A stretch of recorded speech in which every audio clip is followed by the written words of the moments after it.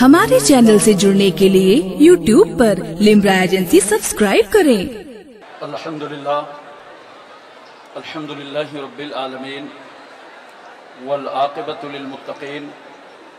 वस्सलातु वस्सलामु अला सुल्तानिस सलातीन।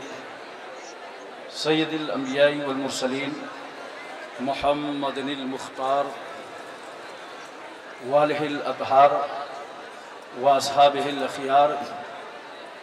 अम्मा बादू फ़ाऊज़ु बिल्लाहि मिनश शैतानिर रजीम बिस्मिल्लाहिर्रहमानिर्रहीम इहदिनस सिरातल मुस्तक़ीम, सिरातल लज़ीना अनअमता अलैहिम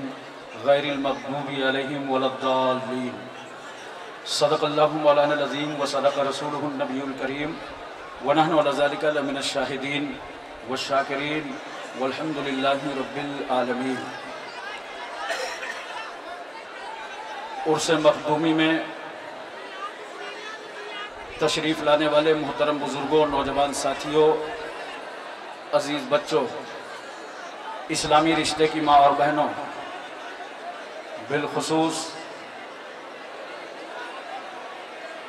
साहिब सज्जादा, दरगाह कमेटी के सदर मोहतरम, हाजिरीन बज़म। असलकम वरहमल वबरक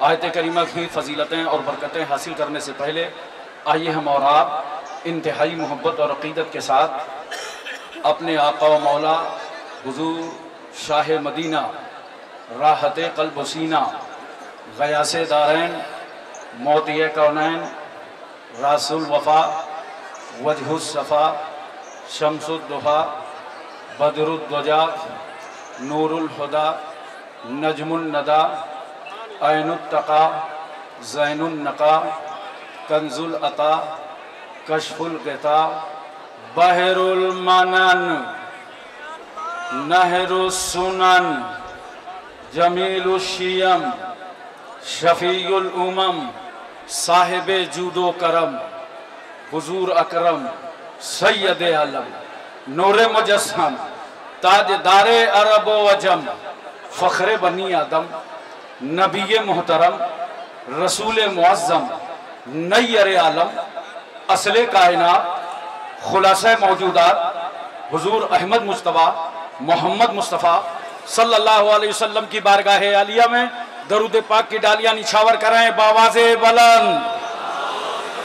अल्लाहुम्मा सल्ली अला सय्यदना मौलाना मुहम्मद वाला सय्यदना मौलाना मुहम्मद बारिक वसल्लम सलातु व अलैका या रसूल अल्लाह एक बार और अल्लाह रब्ब मोहम्मदीन सल्लल्लाहु अलैहि वसल्लम नहनु इबाद मोहम्मदीन सल्लल्लाहु अलैहि वसल्लम सलातु व अलैका या रसूल अल्लाह एक बार पूरी तवज्जो मदीना तैयबा में और मोहब्बत से नबी और आले नबी की बारगाह में सल्लल्लाहु उम्मी वालही सल्लल्लाहु अलैहि वसल्लम सलातु व सलाmun अलैका या रसूल अल्लाह पूरे उत्तर प्रदेश और हिंदुस्तान वालों के लिए सात सौ पैंसठवा उर्स मखदूमी मुबारक हो। चार मिसरे हाजिर हैं समात फरमाएँ। हुसन अखलाक की अनमोल निशानी दे दो। हुसन अखलाक की अनमोल निशानी दे दो। गम के ठहरे हुए मौजों को रवानी दे दो। गम के ठहरे हुए मौजों को रवानी दे दो। तुम हुसैनी हो तो एहसान के मशकीजे से। तुम हुसैनी हो तो एहसान के मशकीजे से। कोई दुश्मन भी अगर मांगे तो पानी दे दो। कोई दुश्मन भी अगर मांगे तो पानी दे दो। पढ़ा लिखा मजमा है, ठाटे मार रहा है। लाखों लाख लोग जाजमऊ के हर गली कूचे में, हर चौराहे पर नज़र आ रहे हैं। जहाँ पर जो हैं, बड़े इतमान से वहीं बैठ जाएँ, अपनी शीरीनी लेकर, और जो भी न्यास के लिए लाए हैं, अपनी जगह बना लें। हमें उम्मीद है कि लाउड स्पीकर के ज़रिए आप तक आवाज़ पहुँच रही होगी। दो शेर और नज़र करता हूँ समाज फरमाएँ।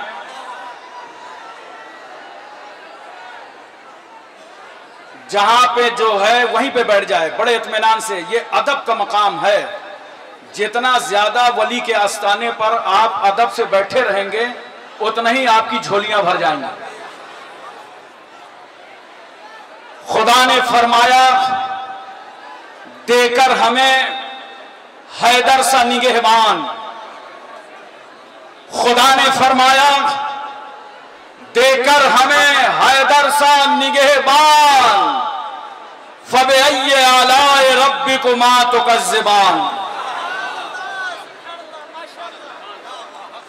जरा से दो शेर और सुनिएगा। पूरी तवज्जो के साथ।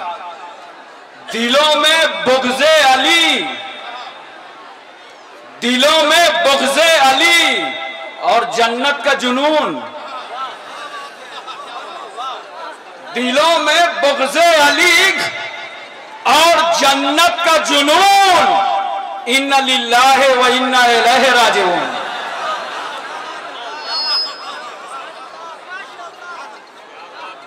मोहतरम खामाइन के राम जिनके सालाना उर्स में हम और आप शरीक हैं, वो बरगुजीदा शख्सियत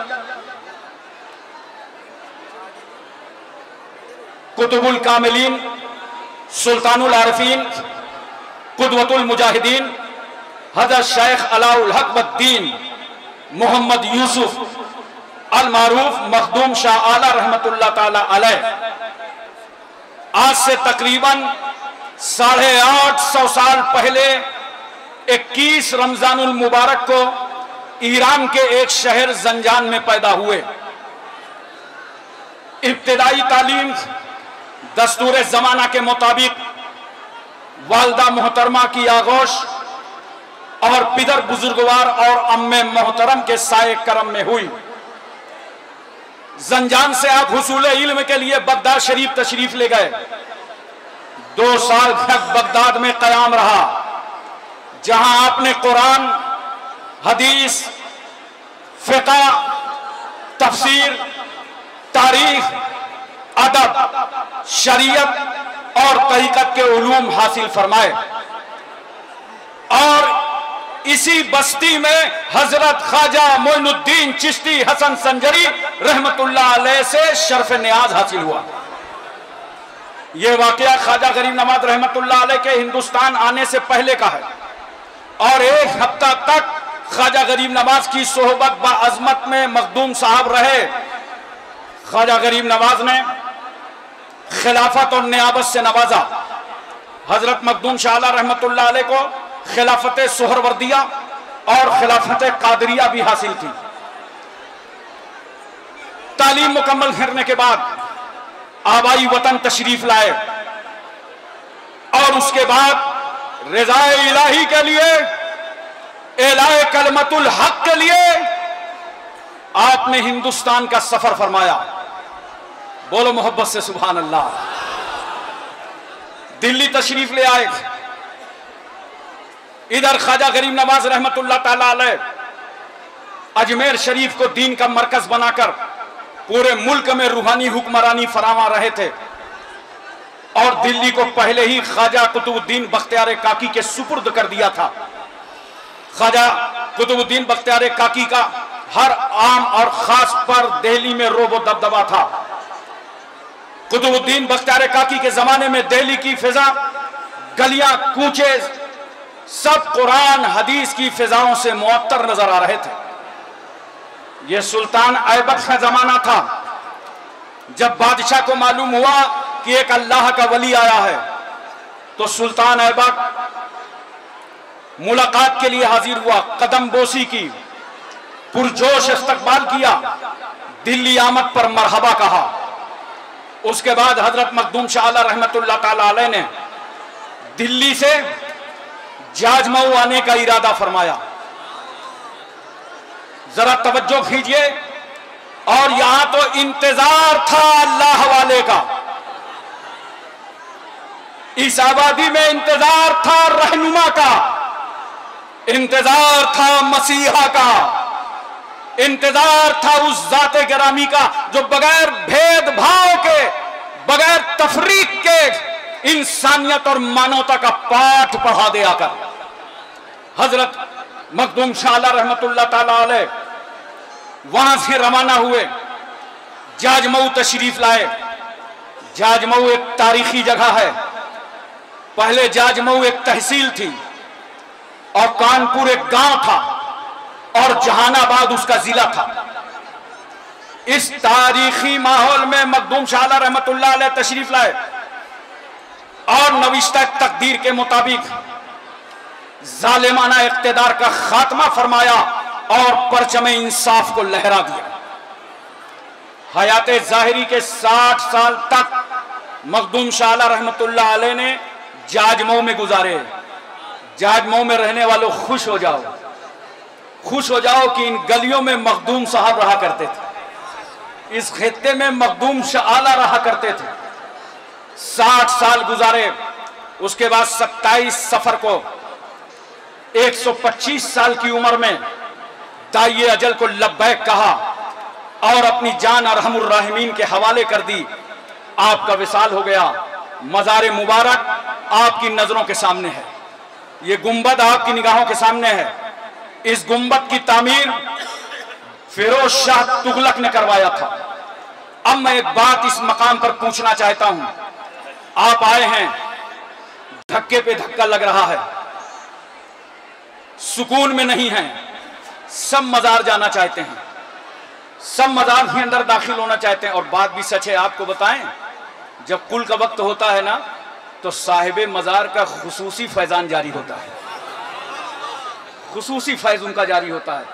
इसलिए सब आए लेकिन सवाल यह है, ये चार पाँच लाख का मजमा अपना घर छोड़कर, अपना शहर छोड़कर मखदूमे के दयार में आ गया।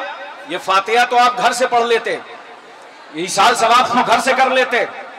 आप दरे मखदूम पर क्यों आए हैं? तो नोट करो। इसलिए आप आए हैं कि जहाँ पर अल्लाह का वली होता है वहाँ से अल्लाह की रहमत करीब होती है। तो चलो खुदा को चल के वहाँ से पुकारो, जहाँ से उसकी रहमत करीब है। लेकिन अब यहाँ आपको अदब दिखाना होगा। जहाँ पे जिसको जगह मिली है, जहाँ पे जो बैठा खड़ा है, उसी हालत में सुकून के साथ रहे। जर्रा बराबर कहीं से शोर शराबा नहीं होना चाहिए। मजार जाओ। कम से कम इस उर्स के मौके पर कुछ बातें सीख के जाया करो। जब किसी भी मजार में हाजिरी दिया करो तो पैतियाने से जाया करो। साहेब मजार को सलाम करो। और दस हाथ मजार से दूर हट करके खड़े हो। और अगर हो सके, आपको जगह न मिल रही हो तो चार हाथ। लेकिन चार से तीन ना होने पाए। कम से कम तीन हाथ दूर कर चार हाथ दूर खड़े हो करके आप साहेब मजार को फातिहा पढ़ें। अगर साहिब मजार को आपने ज़िंदगी में देखा था, और जितने करीब से उनसे मिलते थे तो उतने करीब से आप हाजिरी भी दे सकते हैं। लेकिन बहुत सारे लोग क्या करते हैं? बस तेज़ी से दाखिल होते हैं, अदब का ख्याल नहीं होता, और जाकर के मजार शरीफ को दाबने लगते हैं। मजार में दाबने लगते हैं। लगता है कि बड़ा वफादार मुरीद आया है, और हज़रत बहुत थके हुए थे, आज सारी थकावट उतार दें। ये जाहिलाना रस्में हैं। मजारों को दाबना ये जाहिलाना रस्में हैं।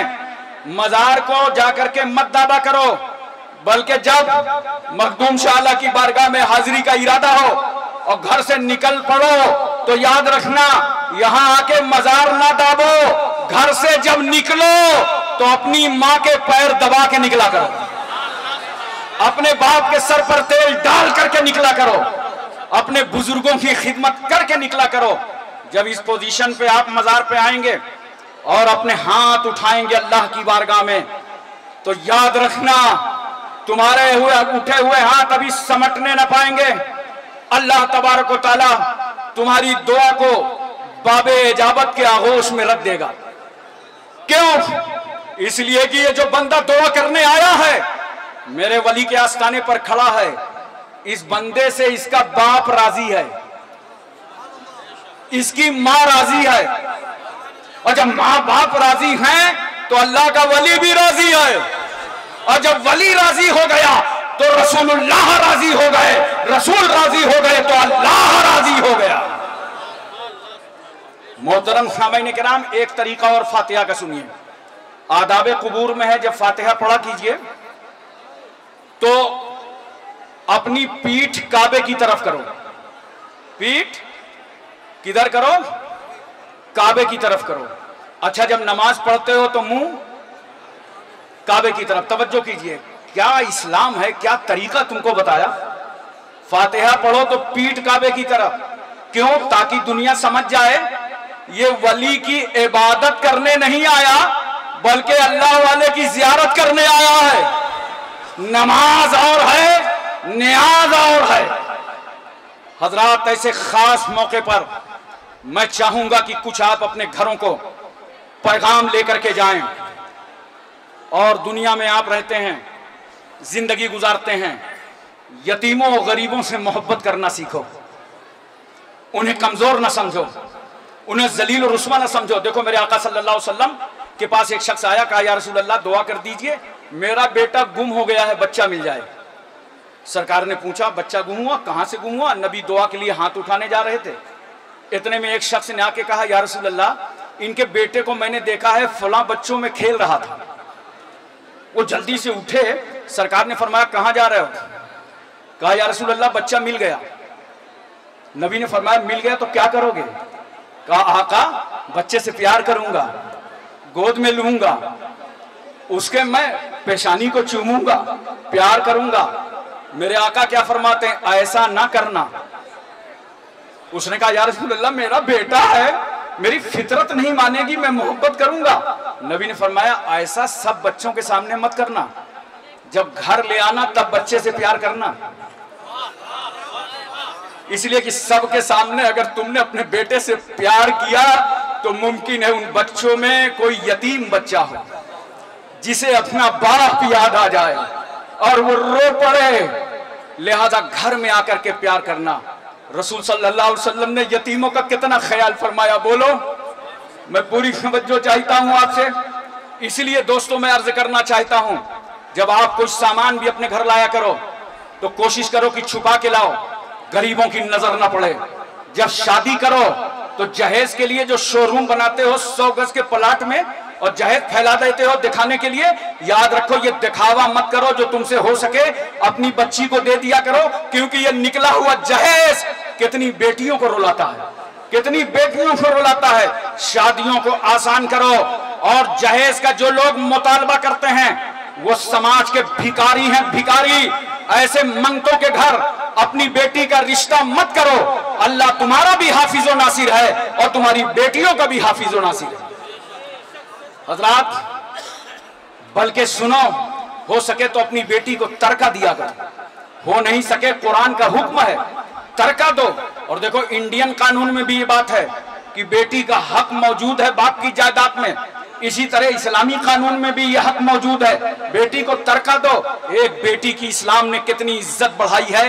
देखो, जब ये पैदा हुई, बाप के घर में, इस्लाम ने कहा, बाप के माल में तेरा हक। शादी हुई, इस्लाम ने कहा, शौहर के माल में तेरा हक। माँ बनी, इस्लाम ने कहा, बेटे के माल में तेरा हक। हजरात तवज्जो फरमाइए, और एक बात और याद रखिए, इल्म हासिल कीजिए। इल्म बहुत ज़रूरी है। इल्म से लापरवाही ना कीजिए। कुछ लोग समझते हैं, इल्म हासिल करेंगे, क्या फ़ायदा, नौकरी तो मिलेगी नहीं। एक सौ चालीस करोड़ का मुल्क है ये। और मुश्किल से छह करोड़ लोग नौकरी करते हैं।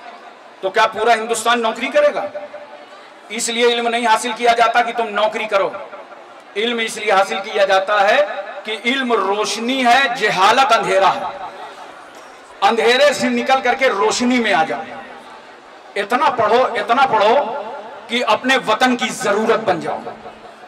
रोटी, कपड़ा, मकान, इसका शौक कम कर दो। और अपनी बेटी और बेटियों को पढ़ाओ। ये तालीम ही तुम्हारी अजमत रफ्ता को वापस ला सकती है। एक बात और सुनिए, इस्लाम का कानून है। फजूल खर्ची हराम है। कुरान ने तो यहाँ तक कहा है, जो लोग फजूल खर्च करते हैं, वो शैतान के भाई हैं। हज़रत उस्मान गनी की बारगाह में सरकार ने एक शख्स को भेजा, वो आया था पैगंबर के पास की शादी करना है। नबी ने फरमाया, उस्मान के पास जाओ। वो आए तो देखा हज़रत उस्मान गनी गुलाम को डांट रहे हैं। और क्यों डांट रहे हैं? कहा रात में तुमने चिराग की लव तेज कर दिया था, बैतुल माल का खजाने का तेल ज़्यादा जल गया है। अब इसका ख्याल रखना। वो वापस आ गया, दूसरी सरकार ने फरमाया, उन्हीं के पास जाओ। फिर आए। तो देखा कि गुलाम को डांट रहे हैं कि रात तुमने दाल में नमक ज़्यादा डाल दिया था। खजाने में नुकसान हुआ अंदर ख्याल रखना। वो सरकार की बारगाह में फिर वापस गया। कहा, या रसूल अल्लाह वहाँ तो नमक के ढेले, ढोलों का हिसाब चल रहा है। मुझे क्या मिलेगा? पैगंबर ने फरमाया, नहीं, तुम जाके अपनी बात करो। हज़रत उस्मान गनी से अपनी बात किया। हज़रत उस्मान गनी ने हाथ पकड़ा, खजाने पे ले गए। कहा, तुमको मालिक खजाना ने भेजा है, जो चाहो ले लो। जितना चाहो ले लो। मैं पूछना चाहता हूँ, अगर आपके घर में लाइट जलती है, मस्जिद में जलती है, मदरसे में जलती है, दरगाह में जलती है तो आप उस लाइट की हिफाजत करें, फजूल खर्ची ना करें। आखिरी बात है, सुन लीजिए। और अगर आपके यहाँ पानी है तो बूंद बूंद पानी की हिफाजत करो। फजूल खर्ची हराम है। अल्लाह की बारगाह में दुआ है। परवरदिगार आलम हमको और आपको सबको इल्म अमल की तोफ़ी रफ़ी अता फरमाए। देखिए कुल का आगाज़ होने जा रहा है और माशाल्लाह हमेशा कुल का आगाज़ कारी कलीम नूरी साहब करते थे। आज उनकी तबीयत ज़्यादा ख़राब है। दुआ कीजिए, अल्लाह उनको शिफा अता फरमाए और आइंदा साल वो हमारे साथ शरीक हों। अब आगाज़ कुल करने के लिए मैं हाफिज़ कारी उस्मान बरकाती साहब को दावत देता हूँ। वो आए कुल का आगाज़ फरमाए।